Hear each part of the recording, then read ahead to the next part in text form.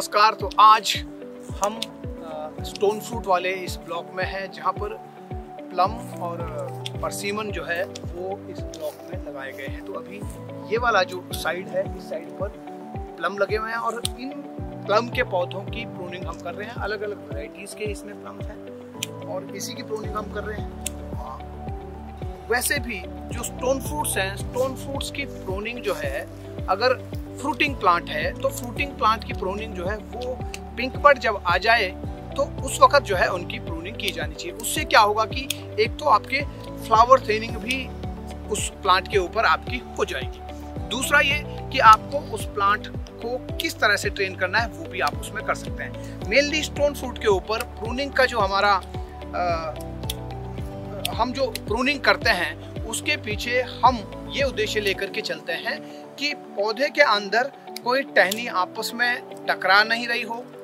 और अंदर sunlight penetration जो है वो खूब हो।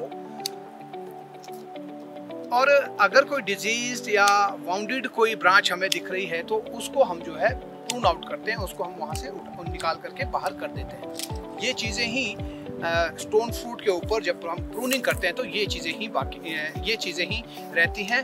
तब तक, जब तक कि पौधा फ्रूटिंग पर नहीं आता हो। जब पौधा फ्रूटिंग पर आता है तो फिर एक चीज़ उसके साथ और जुड़ जाती है, और वो है फ्लावर थिनिंग तो ये जो प्लांट है, अभी इस बार सैंपल पर हैं। बाकी मैक्सिमम जो पौधे हैं, उन पौधों की अभी काट छाट जो हम कर रहे हैं, वो उसकी ट्रेनिंग के लिए हम लोग जो है, ये काट छाट कर रहे हैं। तो आप जैसे देख रहे हैं प्रूनिंग लगातार जारी है।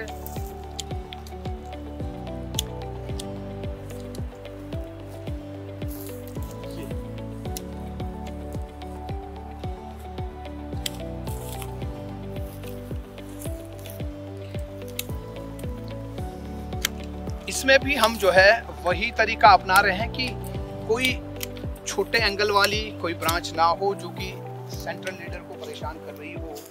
और यहाँ हमने जो ट्रेनिंग सिस्टम रखा है वो सेंट्रल लीडर सिस्टम जो है उसी के ऊपर हम लोग यहाँ पर ट्रेनिंग कर रहे हैं। और अगर आप चाहें तो मल्टी लीडर सिस्टम भी अपना सकते हैं स्टोन फ्रूट के अंदर। एक्शन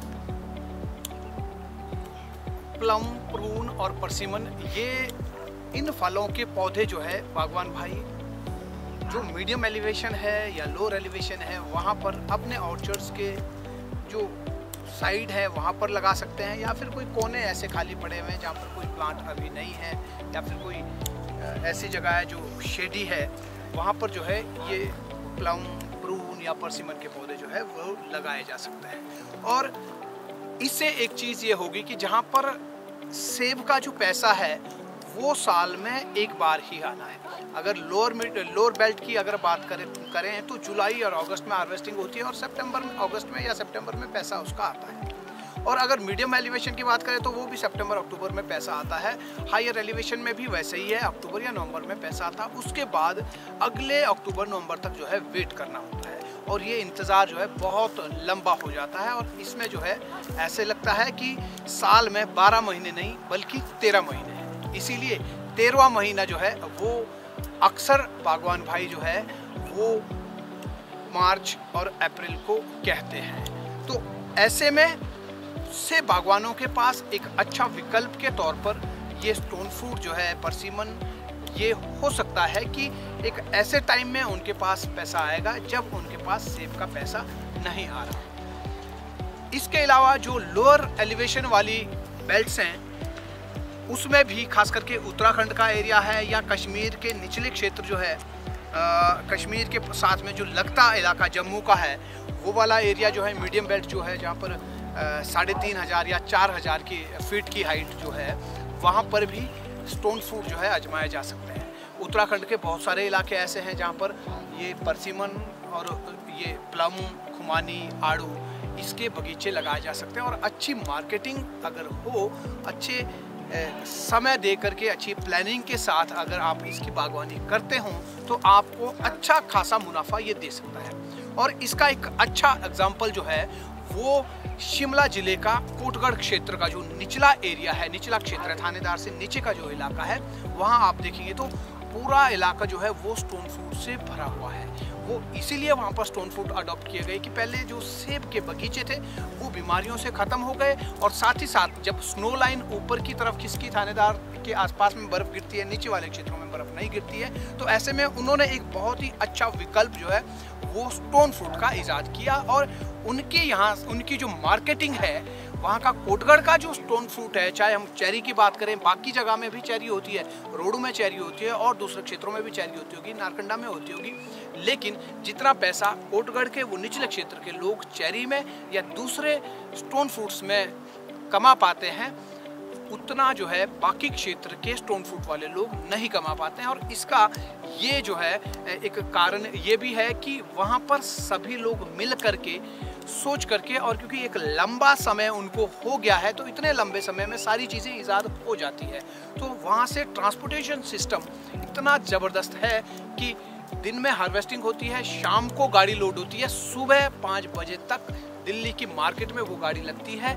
फ्रेश हार्वेस्ट होकर के, फ्रेश फ्रेश ही वो सीधा मार्केट जाता है। इसीलिए वहाँ की जो चेरी है वो दो सौ रुपये ढाई सौ रुपये तीन सौ रुपये किलोग्राम तक जो है लोग उसको बेचते हैं। तो अगर अलग अगर दूसरे इलाकों के जो लोग हैं, जो बागवान भाई हैं, वो भी अगर इसी तरह की स्ट्रेटजी बना करके लोगों को साथ लेकर के अगर आगे चलते हैं मार्केटिंग का बढ़िया सिस्टम बनाते हैं तो इसमें जो है खूब अच्छा प्रॉफिट मिलने वाला है। और अभी रोडों के, रोड जो है, रोडों की हालत भी धीरे धीरे सुधर रही है, खास करके अंदर की कनेक्टिविटी अगर उसमें शायद ज़्यादा टाइम लग सकता है, लेकिन जो city to city state to state जो कनेक्टिविटी है, वो ऐसा लग रहा है कि कहीं ना कहीं पाँच सात साल में ये सारी कनेक्टिविटी अच्छी हो जाएगी। तो ऐसे में जैसे दिल्ली, मुंबई एक्सप्रेसवे लगभग तैयार हो रहा है दो तीन साल में, वो तैयार हो जाएगा। तो ऐसे में दिल्ली से मुंबई जाना बहुत आसान हो जाएगा, बहुत जल्दी फ्रूट जो है वहाँ पहुँच जाएगा। और बाकी की कनेक्टिविटी भी, दिल्ली से शिमला की कनेक्टिविटी अच्छी है, शिमला से रोडू की कनेक्टिविटी अच्छी हो गई है,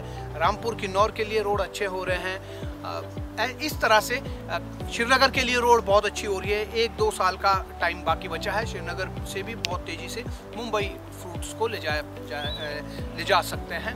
ऐसे ही कुल्लू मनाली की तरफ़ रोड अच्छे हो रहे तो ऐसे में जब हम इन रोड कंस्ट्रक्शन जो चल रही है, इसके हिसाब से अगर हम अपने ऑर्चर्ड में भी तैयारी करते हैं कि अब जो है, वो जो पहले लगता था कि स्टोन फ्रूट को पहुंचाना आसान नहीं होता था, मंडी तक जाते जाते वो ख़राब हो जाता था, जिस वजह से इसकी जो मार्केट है, वो अच्छे से डेवलप नहीं हो पाई थी। लेकिन अभी मार्केट डेवलप हो चुकी है, ऐसा हम कह सकते हैं। और इसी में, इसी कड़ी के बीच में अगर बागवान भाई आगे आए, इसके ऊपर विश्वास दिखाएँ तो आने वाले पाँच सात साल में उन सभी बागवान भाइयों के पास खूब पैसा आएगा, जो लोग इन इन फ्रूट्स के प्लांट को अपने ऑर्चर्ड में लगाएँगे या फिर नई ज़मीन देख करके वहाँ पर ऐसे बगीचे तैयार करते हैं। तो ये वीडियो आपको कैसा लगा कमेंट बॉक्स में ज़रूर बताएँ और पेज को फॉलो करना ना भूलें। अगर आप यूट्यूब पर ये वीडियो देख रहे हैं तो YouTube channel Jeetu Chauhan orchardist को ज़रूर सब्सक्राइब करें ताकि अगले वीडियो का नोटिफिकेशन सबसे पहले आप तक पहुँचे। वीडियो को शेयर ज़रूर करें। अगर आपने खेतियारी ऐप अभी तक डाउनलोड नहीं किया, जिसके ऊपर बागवानी की आधुनिकतम तकनीकी घर बैठे आप सीख सकते हैं तो तुरंत प्ले स्टोर में जाएँ और